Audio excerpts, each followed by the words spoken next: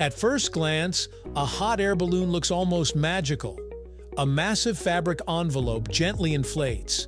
A flame roars beneath it, and suddenly this quiet basket begins to rise. No wings, no engines, no visible force pushing it upward. It feels like defying gravity. But behind that peaceful ascent is a surprisingly elegant mix of physics, history, and human curiosity that dates back centuries. So how does a hot air balloon actually rise into the sky? Let's find out right here on History of Simple Things.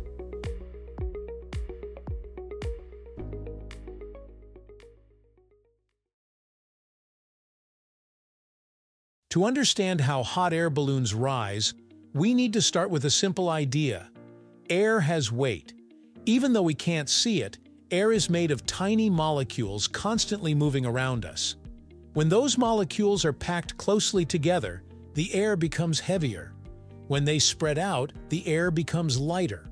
Hot air balloons rise because they take advantage of this invisible difference. When air is heated, its molecules move faster and spread farther apart. This makes hot air less dense than the cooler air around it. Nature always tries to balance things out, so the heavier, cooler air pushes underneath the lighter hot air. The result is lift. The balloon doesn't pull itself up, it's pushed upward by the surrounding atmosphere. This principle is known as buoyancy, the same force that allows ships to float on water and helium balloons to rise in the sky. Inside a hot air balloon, this process begins with the burner, Modern burners use propane gas, which is ignited to produce a powerful flame. That flame heats the air inside the balloon's envelope, often raising its temperature to over 100 degrees Celsius. As the air inside becomes hotter and lighter than the air outside, the balloon begins to lift.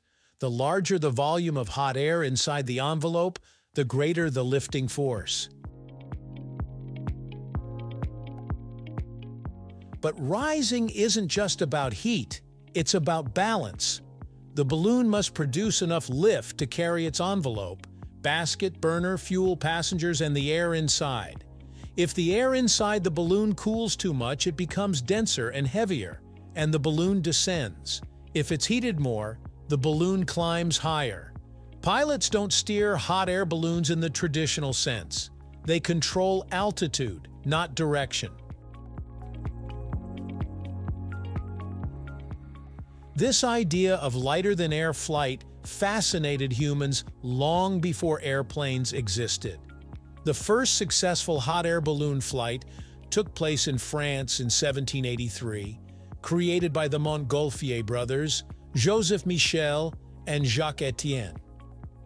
They noticed that hot air and smoke rising from fires could lift lightweight objects, their earliest experiments involved paper and fabric balloons filled with smoke from burning straw and wool. After successfully testing a passenger-carrying balloon with a sheep, a duck, and a rooster, who all survived, the Montgolfier brothers proved flight was possible, soon sending humans aloft decades before powered aircraft existed. Over time, risky open fires were replaced by propane burners and heat-resistant modern materials, making hot air ballooning far safer and more reliable. The envelope itself is carefully engineered. It isn't just a big bag of air, it's shaped to maximize lift while remaining stable.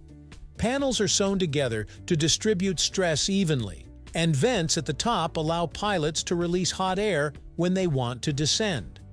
A parachute valve, controlled by a rope, opens briefly to let hot air escape, reducing lift in a controlled way.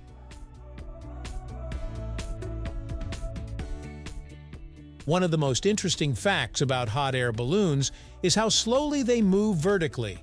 Most rise only a few hundred feet per minute, creating a peaceful, floating experience. Yet their ascent is governed by strict physics, with lift depending on temperature, balloon volume, and atmospheric pressure.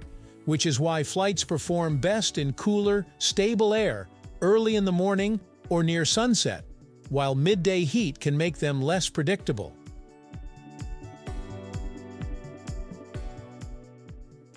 Weather plays a crucial role in ballooning.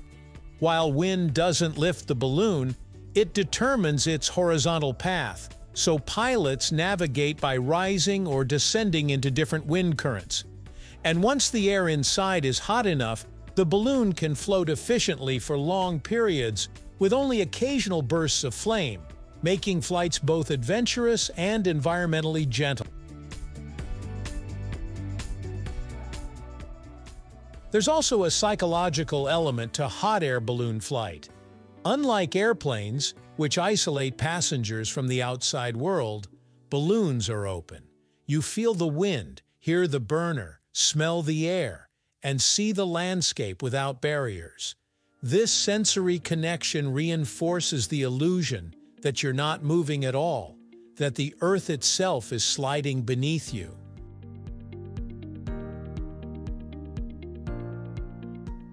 Hot air balloons have served many purposes beyond recreation. In the 18th and 19th centuries, they were used for scientific observation, weather studies, and military reconnaissance. During the American Civil War, balloons were deployed to observe enemy troop movements from above. Scientists used them to measure atmospheric pressure, temperature, and altitude long before satellites existed. Even today, weather balloons, filled with helium rather than hot air, use the same principles of buoyancy to gather data high in the atmosphere, helping scientists understand climate, storms, and Earth structure. While hot air balloons endure as a reminder that flight doesn't need engines or noise, just warm air, patience, and a respect for how nature works. So when a hot air balloon rises, it isn't fighting gravity but working with it, becoming lighter than the surrounding air and letting the atmosphere do the lifting. Which is why watching a balloon ascend never gets old. It's physics made visible, history floating upward, and a reminder that the most powerful forces are often unseen. If you enjoyed this video, please check out our other bingeable channels. Thank you for joining us on this journey through the history of simple things. Don't forget to like, subscribe, and stay tuned for more stories woven through the smallest details.